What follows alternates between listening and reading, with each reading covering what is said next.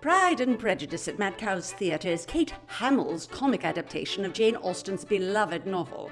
In this madcap production, the Bennet sisters, including the strong willed Elizabeth, have been raised by their mother with one purpose in life to find a wealthy husband. Should they win, they live in luxury. Lose, and they will be penniless when their father eventually croaks.